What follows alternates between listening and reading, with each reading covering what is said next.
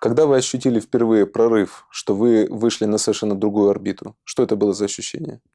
В Кызылкумах э, мы как-то полетели на вертолете по водоводу, и внизу такое стойбище было чебанов, и мы опустились к нам, подрулили, значит, чебаны, и Боря Зизда, работавший в то время руководителем э, производств в Очкудуке, он говорит, чебанам, вот это наш э, гость из Ленинграда Розенбаум, познакомьтесь. И Чебан какой-то, для которого, наверное, город Бухара был э, Нью-Йорком, а Центром Нью- цивилизации. а Нью-Йорк, да? наверное, для него был чем-то венерианским.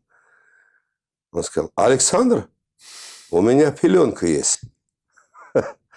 И вот в тот момент я впервые почувствовал, это как вот проснуться знаменитым